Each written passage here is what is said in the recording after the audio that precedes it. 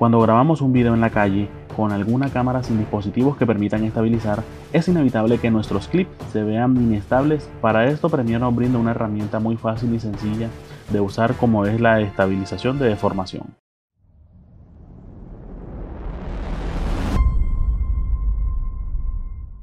Hola amigos, mucho gusto, soy Luis Noriega de la ciudad de Santa Marta, Colombia. En este video aprenderás de una forma fácil y sencilla cómo estabilizar un video en Adobe Premiere Pro. Quédate en este video para que sepas cómo hacerlo. Aquí en esta línea de tiempo ya tengo un video montado. A este es el que quiero aplicar el efecto de, de estabilización. Se vería un poco así.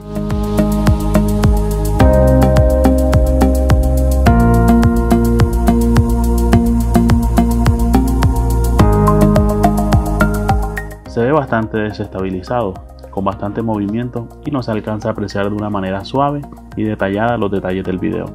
Lo primero que vamos a hacer es irnos a efectos. Vamos a escribir estabilizador de deformación, lo vamos a arrastrar y lo vamos a colocar encima de nuestro clip y aquí empieza a analizarlo. Me voy a los controles de efectos. Aquí ya está estabilizando, esperamos que estabilice. Esta parte la voy a acelerar para que el proceso sea más rápido. Una vez analizado y estabilizado el video puedo reproducirlo.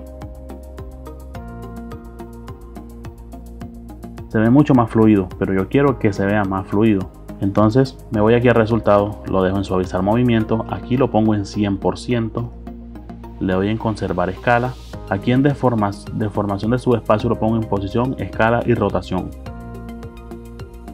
Aquí la escala automática se la dejo normal como está y me voy a analizar otra vez. Una vez haya terminado de estabilizar, reproduciremos el video. Quedaría algo así.